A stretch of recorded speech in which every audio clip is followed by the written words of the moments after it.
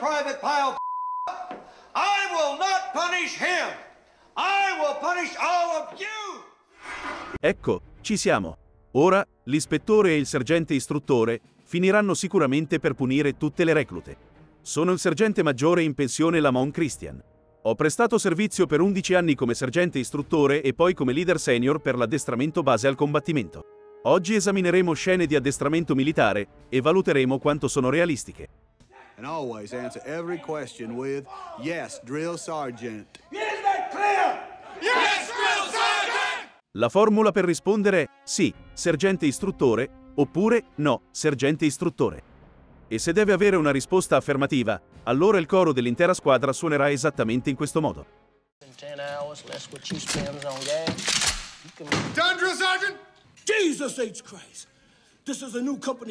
Il sergente istruttore è rimasto molto colpito dalla recluta, dal momento che, come si immagina, per chi non ha mai maneggiato un'arma, all'inizio dell'addestramento è una sfida. Quello che chiamiamo addestramento alle armi rappresenta essere in grado di smontare l'arma, rimontarla e fare quello che avete visto fare a Forrest, cioè il controllo delle funzioni. E la tua speranza come ispettore o sergente istruttore è che tutti lì dentro possano fare come Forrest. Shrimp and potatoes, shrimp burger. La cosa buffa è che la situazione presentata qui, quando sono lì con gli spazzolini da denti, è una cosa del passato, tempi in cui si dava alla recluta le forbici e gli si chiedeva di andare a tagliare l'erba. Promuovono un ambiente di lavoro di squadra, come si è visto con l'addestramento alle armi, che è quello che io chiamo automatismo. Ripetete l'operazione fino a quando non si riesce a farla bene. Ha lo stesso potere formativo degli spazzolini visti poco fa. Questo tipo di approccio da parte del sergente istruttore era molto comune per quel periodo durante la guerra del Vietnam. Gli darò un bel 9. Pick it up! Move it! Move it! I want to see some fire here! Come on! Get the wood! Get the wood! Per quanto riguarda i percorsi a ostacoli, di solito nel campo di addestramento si affrontano due volte. Questi percorsi sono progettati per dimostrare la forza che si ha nella parte superiore del corpo e la resistenza. E potrebbe anche mettere alla prova la tua paura dell'altezza o la paura del buio. E vivi in prima persona il lavoro di squadra, ci si aiuta a vicenda. Lo si vede in due occasioni qui, seguite da urla e grida. La chiamiamo anche simulazione delle condizioni del campo di battaglia.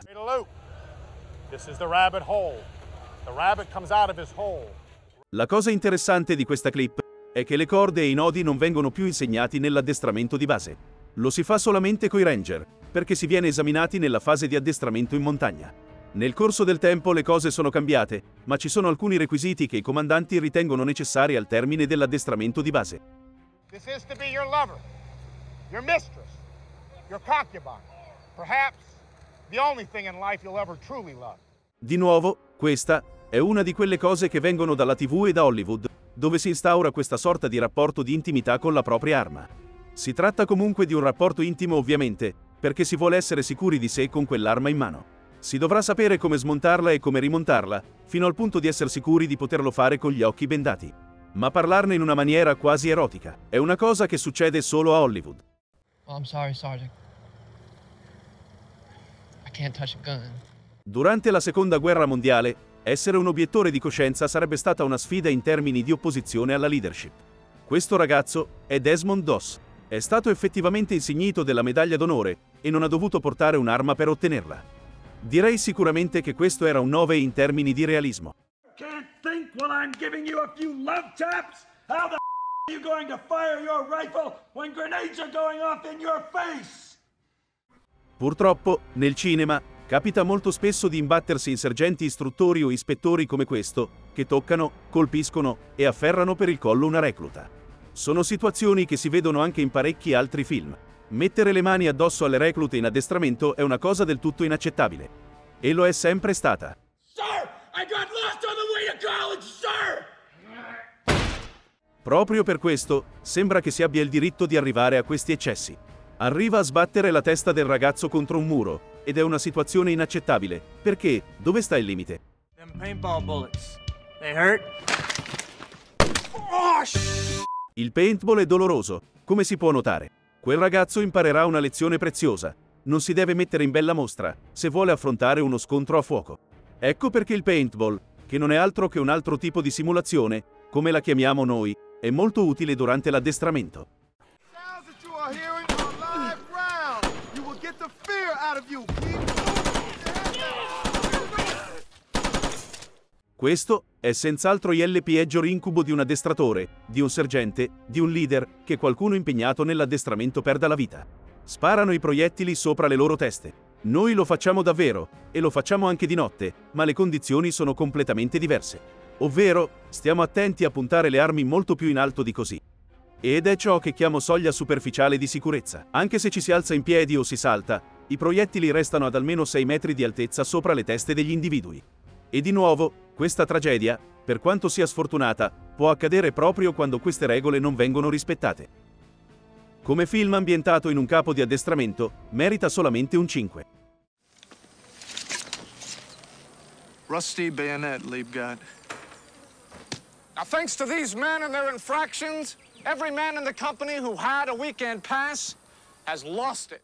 È molto interessante questa scena, perché ho servito come sergente maggiore di questa unità, ovvero il secondo battaglione 506, reggimento di fanteria paracadutisti, della 101esima divisione dell'aviazione. Questa è la compagnia Easy durante la preparazione alla seconda guerra mondiale. In quel periodo della nostra storia militare erano poche le persone già sposate. E tutti richiedevano spesso un permesso di due o tre giorni. Le cose su cui vengono ispezionati sono cose da parata, e loro sono lì fuori in tenuta da combattimento. Capisco dove vuole arrivare, sta solo cercando di infondere disciplina. Sono quasi sicuro che il morale non sarà alto ancora per molto.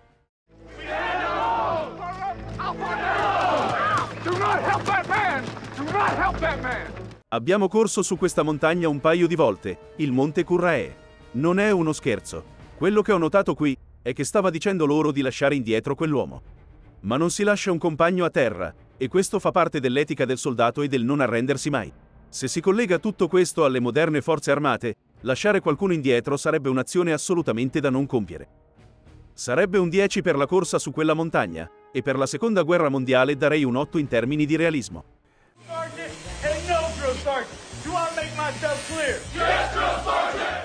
Li metti sulla sedia del barbiere, li giri e non hanno più capelli. A volte la si sente nominare questa pratica nelle canzoni, durante le marce. Gli uomini si tagliano i capelli completamente. Le reclute donne però non sono tenute a farlo, e credeteci o no, ma è più che altro una questione di salute e igiene. Perché ci sono persone che provengono da un po' tutti gli ambienti, e quindi non si sa se abbiano, per esempio, pidocchi o altri tipi di problemi sotto tutti i capelli. Next we got about 100 shots. Qui ci sono i vaccini. Basta farsi vaccinare, così si cerca di evitare ogni tipo di malattia perlomeno conosciuta dall'uomo. Execute. Prima impressione che ho di questa scena è che tutti quanti si stanno spogliando in un'ampia stanza, in un luogo aperto. Non è questo che avviene in quella che viene chiamata Military Entrance Processing Station, o MEPS. Tutti i membri dell'esercito passano di lì e non ci sono istruttori o sergenti presenti. In quel frangente sono presenti solamente dei componenti del personale dell'esercito come gli amministratori, i medici, i consulenti, che determinano se si è idonei o meno all'addestramento.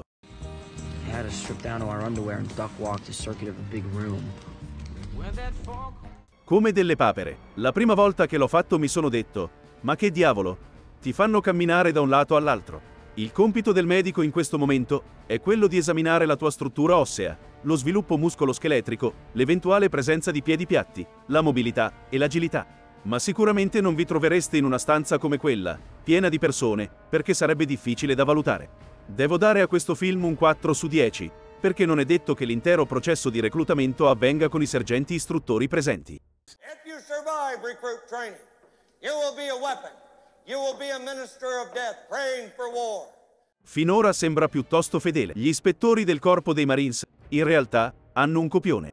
Dicono, Siediti e guardami. Bisogna specificare che vi è una differenza nei titoli di queste figure. Gli istruttori sono legati al corpo dei Marines, mentre i sergenti istruttori entrano in gioco per l'esercito. E l'interazione nella prima parte della scena è un classico esempio di quella che noi chiamiamo controllo totale. In quei campi di addestramento, ovunque si guardi, ci sarà un ispettore o un sergente istruttore che si assicurerà che la formazione impartita venga consolidata.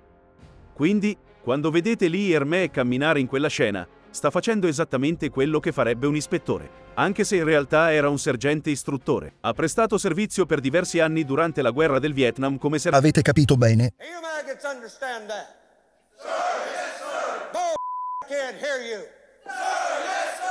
Notate come il sergente urli in continuazione, e non perché gli piaccia urlare contro le persone. È solo perché non devono dover ripetere gli stessi comandi in continuazione. Se una recluta si trova a un'estremità della grande camerata, sentirà le istruzioni allo stesso modo di una recluta che si trova dalla parte opposta.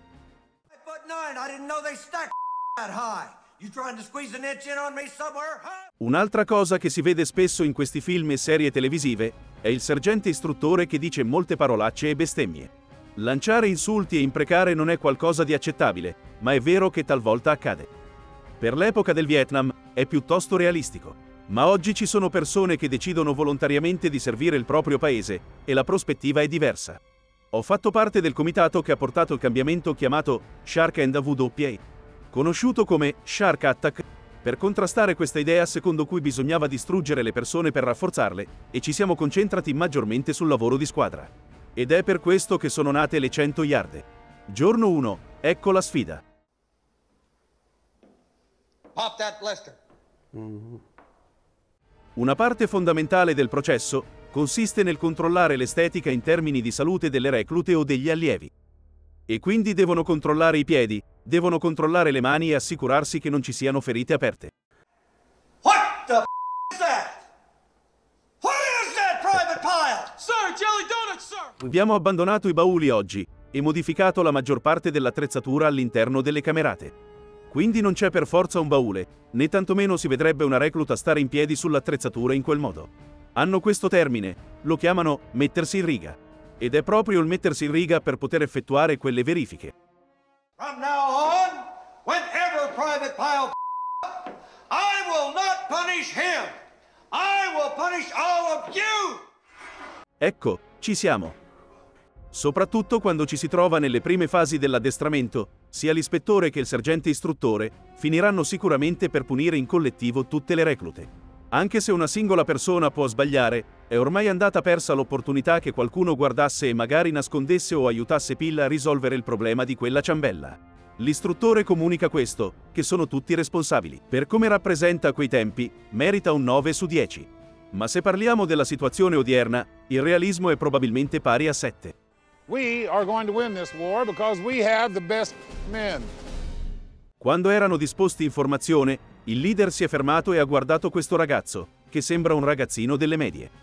C'era poi un ragazzo, di nome Flaherty, e questo ragazzo era alto 1,45 m. Lo chiamavano il killer gigante per le varie imprese che compì durante la guerra in Vietnam. E lui era più piccolo di quanto fosse Rogers. Nobody's got that flag in 17 years!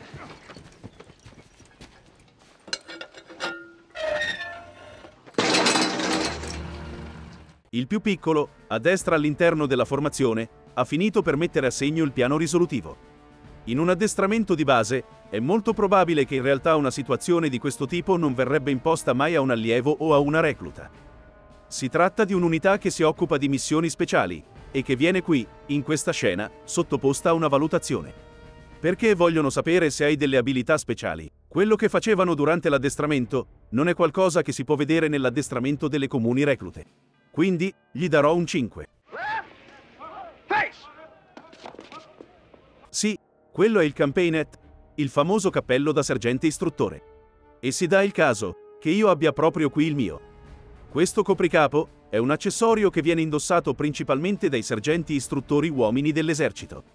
Ma non solo, anche dagli ispettori, sia uomini che donne, dei Marines. La sua particolarità è che, mentre tutte le divisioni in generale, tranne la Marina, hanno una qualche forma di campaignet, distinta per uomini e donne, l'esercito ha ancora un cappello a parte per il sergente istruttore donna. Si chiama Bush Hat. There she was just walking down the street singing do-a-dee-dee-dee-dee-dum-dee-dee-dum.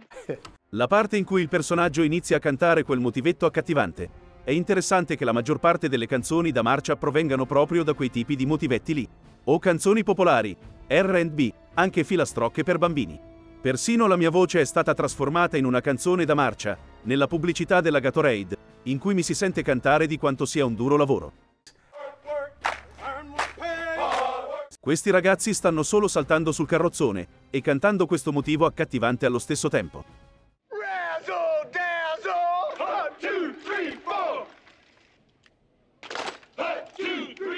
Non è realistico.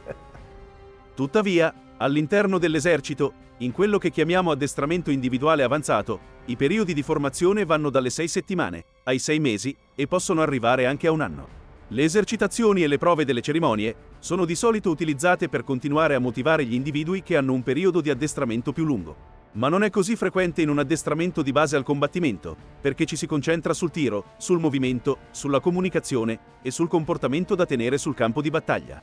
Devo dare un 4. Locate a wounded soldier, represented by a dummy. You must then transport him to the emergency field hospital. Ci sarebbero molte cose da dire qui. All'inizio era sicuramente qualcosa che non si vedeva spesso nell'addestramento delle reclute. Oggi, invece, si possono trovare molte donne ad occupare posizioni di vertice nell'esercito. È una cosa che non si è verificata per molti, direi per troppi anni, fino a quando l'esercito non ha iniziato ad aprire i ranghi di comando della fanteria anche alle nostre donne. An aggressor team will be trying to stop you. They are all awaiting ranger training and can't wait to capture you. In base alle informazioni e alle istruzioni ricevute in questa clip, si trattava qui di un addestramento individuale avanzato, un addestramento di tipo medico. Le operazioni e missioni di addestramento generalmente non sono mai così estreme.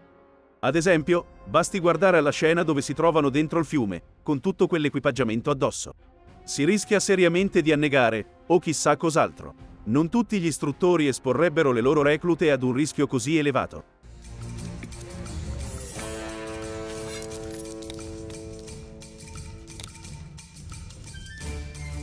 Anche in questo caso, l'esposizione diretta ai fattori di rischio non è qualcosa che si vede di frequente nell'addestramento delle reclute, ma è qualcosa di molto simile dal punto di vista della sfida, per quanto riguarda l'esercito.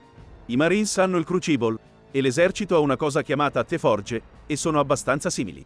Nella prova finale di tutto l'addestramento che ricevono durante la formazione delle reclute nei reparti di assistenza medica, potrebbero dover curare un ferito o trasportarlo, come avete visto qui.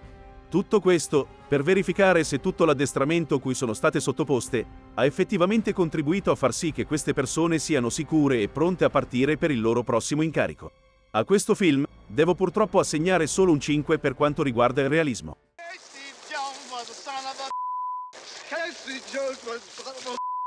Il nonnismo è un fenomeno che non è mai e poi mai stato accettato, ma che purtroppo accade ancora oggi. Questo è un ambiente in cui c'è ancora l'addestramento iniziale, o l'addestramento militare iniziale, ma qui vediamo che si tratta di una scuola per aspiranti ufficiali. In genere, i potenziali ufficiali sono un po' più maturi di così, sono nell'esercito da un po' di tempo ormai, e hanno raggiunto i gradi di arruolamento. Ci sono determinati comportamenti, che possono essere più accettabili all'interno di quell'ambiente, rispetto a quello dell'addestramento delle reclute semplici. Ad un certo punto, era stato diffuso in tutti quanti i reparti un incarico, che prevedeva l'individuazione di metodi graduali, se così si può definirli, per affrontare e contrastare ogni forma di nonnismo.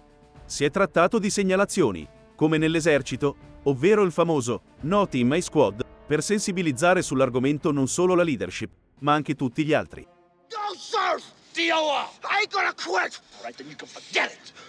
You're out! Don't you do it! Ci sono circa due o tre livelli di controlli e valutazioni, tutti atti a evitare che un ispettore oppure un sergente istruttore disonesto possa prenderla sul personale, come sembra in questo filmato. A causa della complessità e degli aspetti che caratterizzano la scuola per aspiranti ufficiali, rispetto a ciò che avviene nell'addestramento iniziale riservato alle reclute, direi che è più efficace oggi di quanto non lo sia in passato. Potrei dare a questo film un 7. All right, Shirley, you can drop him now. L'allenamento con i pesi è importante, perché è necessario essere in grado di sostenere il proprio peso. In alcuni casi potreste dover sollevare, trasportare o trascinare un vostro compagno o compagna. Usare i secchi di sabbia come pesi è molto meno costoso che comprare dei pesi per ogni singolo marine, ma in questo modo si raggiunge lo stesso risultato fisico.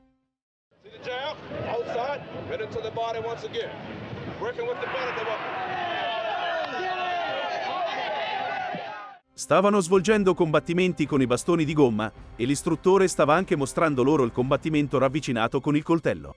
Perché ogni marine, ogni soldato, ogni persona che si arruola nell'esercito è prima di tutto un combattente.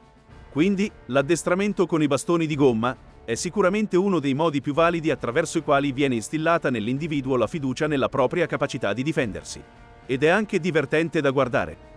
Direi quindi che posso dare a questo film un 7 pieno.